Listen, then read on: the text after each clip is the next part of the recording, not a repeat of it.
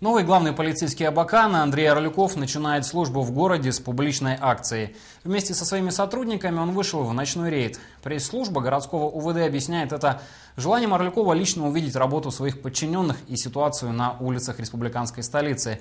И отправился он не куда-нибудь, а на Мажорку. Так называется площадь перед Палаларом, на которой любит гулять золотая молодежь. Жители ближайших домов много раз жаловались, что ребята спортивного вида на крутых автомобилях просто не дают спать по ночам. Правда, во время рейда силовики застали не такую большую тусовку, как обычно.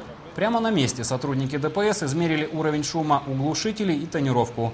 Четверых водителей оштрафовали за суперзвук, 13 человек за плотную тонировку. Половина сразу же предпочла ее снять на месте.